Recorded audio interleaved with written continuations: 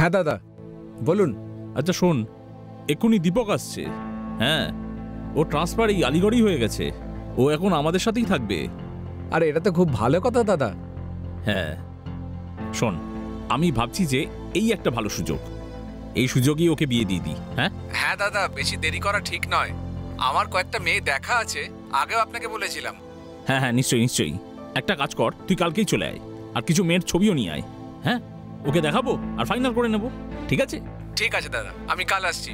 হ্যাঁ চলে আয় তাড়াতাড়ি। আমি অপেক্ষা করব ঠিক আছে?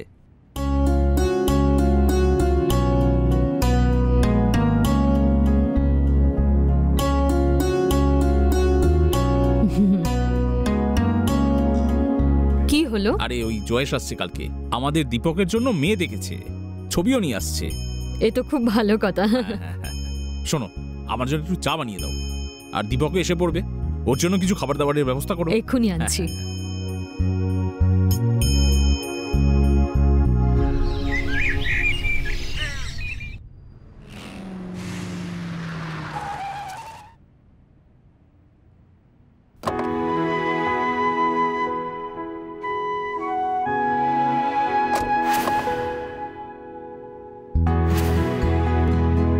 এই নাও তোমার চা। আরে বাহ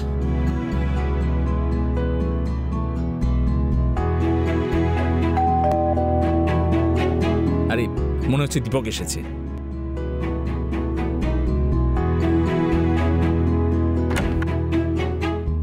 আরে দীপক, নমস্কার বাবা। বাবা এসে গেছিস? হ্যাঁ বেঁচে থাক, নমস্কার বেঁচে মা। থাক। বেঁচে থাকো। চল। আরে দাঁড়া ওখানেই দাঁড়া তুই।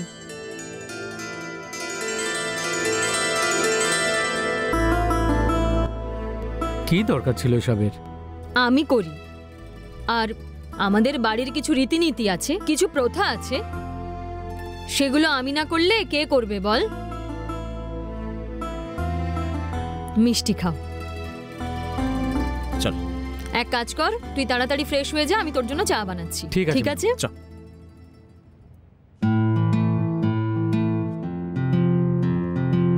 হ্যাঁ আমি অপেক্ষা করছি চলে আয়। এই নাও তোমার চা। হ্যাঁ। জয়েশ ভাই কখন আসবে? এসেই পড়বে। বাড়ি থেকে তো অনেক সকালে বেরিয়েছে। আহ গুড মর্নিং বাবা গুড মর্নিং গুড মর্নিং উঠেছিস? বস তোর জন্য চা নিয়ে আসছি। হ্যাঁ মা। আর বাবা? কাজকর্ম কেমন চলছে? সব ঠিকই চলছে বাবা। আর হ্যাঁ জয়েশ আসছে। আমি ডেকেছি ওকে। কাকাকে? হুম। তোর সম্বন্ধের জন্য কিছু মেয়ে দেখেছে তাদের ছবিও নিয়ে আসছে। বাবা বিয়ের কথা থেকে এলো? আরে আরে কোথা থেকে এলো মানে? তুই কি বিয়ে করবি না? আরে তুই চাকরি পেয়েছিস এক বছর হয়ে গেল। এখন করবি না তো কখন করবি? এতদিন দিল্লিতে ছিলিস মেনে নিয়েছি।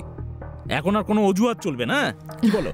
ঠিকই তো বলছেন তোর বাবা তাই না? শুধু একটা বৌমার অভাব আছে বাকি তো সব কিছু আছে। নাও এসে গেছে। নমস্কার দাদা নমস্কার বৌদি। এসো এসো এসো এসো। তোমারই অপেক্ষা করছিলাম জয়েশ। ভালো থাকো। বেঁচে থাকো বেঁচে থাকো। নমস্কার কাকা। নমস্কার নমস্কার। আরে দীপক তোমার তো চেহারাই বদলে গেছে দিল্লি থেকে। আরে এত লেট হয়ে গেল কি করে? কোথায় গিয়েছিলে? আরে দাদা রাস্তায় গাড়ি খারাপ হয়ে গেছিল তাই দেরি হয়ে গেল। আচ্ছা আচ্ছা আচ্ছা। আচ্ছা ওই ছবিগুলো এনেছো? হ্যাঁ হ্যাঁ এনেছি তো। এই দেখুন। দেখো। সবাই গ্র্যাজুয়েট এবং ভালো পরিবারের। দীপক তুই একটু দেখ তো এর মধ্যে তোর কোনটা পছন্দ? মা এসবের কি দরকার? হ্যাঁ? আরে দরকার নেই কেন? এই পরিবারের সব থেকে বড় ছেলে তুই। তোর বিয়ের জন্য সবাই অপেক্ষা করছে। আরে তুই দিল্লিতে কাউকে দেখে রাখলে বল। এই জয়েশ কি আজে বাজে বকছো? হ্যাঁ? সবাই জানে যে আমাদের দীপক এরকম ছেলেই নয়। ও আমাদের অনুমতি ছাড়া কোনোদিন কোনো কাজই করেনি তো মেয়ে কি করে পছন্দ করবে? ও এরকম করতেই পারে না। আমরা গর্বিত ছেলের জন্য। ও আজও আমাদের এত সম্মান করে। আচ্ছা এ দীপক দেখ এর মধ্যে থেকে একটা মেয়ে পছন্দ কর যাতে আমরা সম্বন্ধটা করতে পারি। নে। বাবা আমার একটু কাজ আছে আমি আসছি। আরে। আরে দীপক কোথায় যাচ্ছিস বাবা? একবার দেখে তো নে। ছেড়ে দাও ছেড়ে দাও। ও- লজ্জা পেয়ে গেছে মনে হয়।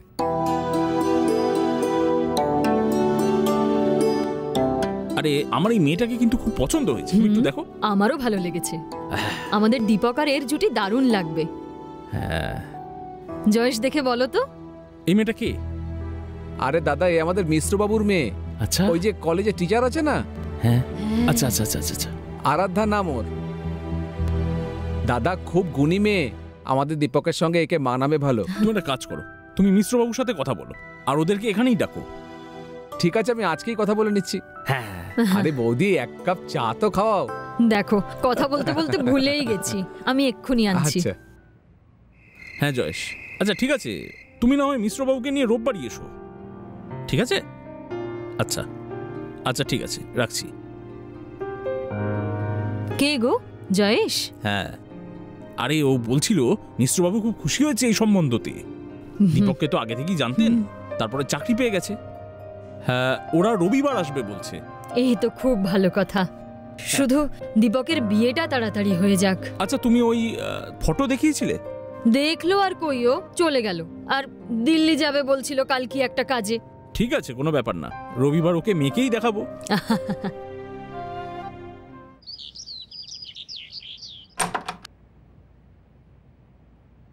শোনো। হ্যাঁ? তুমি কোথায় যাচ্ছ? ওই একটু হাঁটতে যাচ্ছি। একটা কাজ করো না। কাল একাদশী তো আমাকে মন্দির যেতে হবে। তুমি তোমার অটোওয়ালাকে বলো না যেন কাল আসে।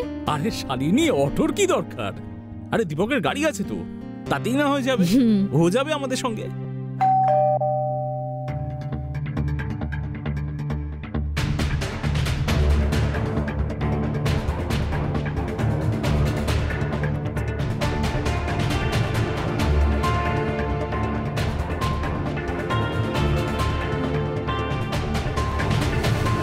দীপক এটা কে? মা এ অঞ্জু। হুম? অঞ্জু মা আর বাবা প্রণাম করো।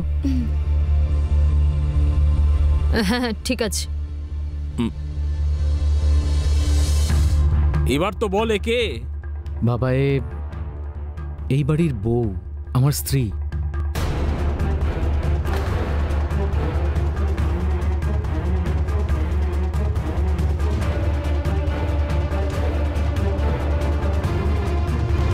সরি মা বাবা। বাবা তুই এটা কি করলি? অন্তত একবার বলতে পারতিস। মা আসলে আমরা এক বছর আগেই বিয়ে করে ফেলেছিলাম দিল্লিতে। ভাবলাম সঠিক সময় তোমাদের বলে দেব। আর তোর মনে হচ্ছে এটাই ঠিক সময়?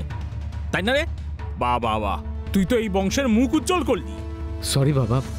সরি সরি বলি সবকিছু ঠিক হয়ে যায়। কি কি ভেবেছিলাম জানিস তোর জন্য আমরা? কি কি স্বপ্ন ছিল আমার আর তোর মায়ের? সব ধুলোয় মিশিয়ে দিলি। বাবা আমি তোমাদের মন ভাঙতে চাইনি। হুম। আসলে আমার কাছে কোনো উপায় ছিল না। যে দরকার হলে আমার বলবেন। বলে দেব।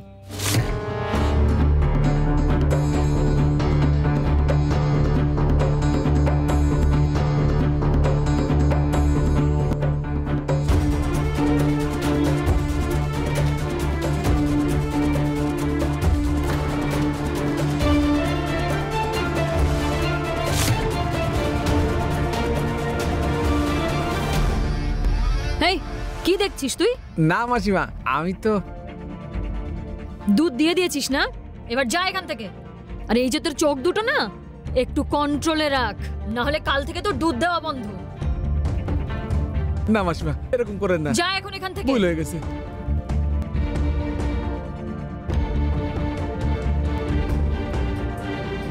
বৌমা এসব কি? মানে? এসব কি কাপড় পরে ঘুরে বেড়াচ্ছ? তোমার লজ্জা করছে না না? এটার মানেটা কি মা?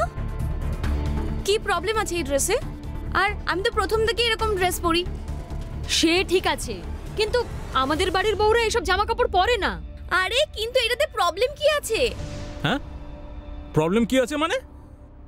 তোমার মা তো ঠিকই বলছে আমাদের ঘরের মেয়েরা এরকম কাপড় পরে না। এসব চলবে না এখানে। আর তোমায় কাল বলেছিলাম না মন্দিরে যাব? তুমি এখনও তৈরি হওনি? দেখুন মা আমি কোনো মন্দির ফন্দিরে যেতে পারব না। কোথায় ফেসে গেলাম আমি? কোন জগতে বাস করেন আপনারা? সবাই কোথা থেকে কোথায় পৌঁছে যাচ্ছেন আপনারা? এখনও ছোট ড্রেসে আটকে আছেন আর হ্যাঁ আর এমনি তো আমি কোনো মন্দির ফন্দিরে যাব না। আর আপনাদের যেতে হয়তো চলে যান। বৌমা আপ,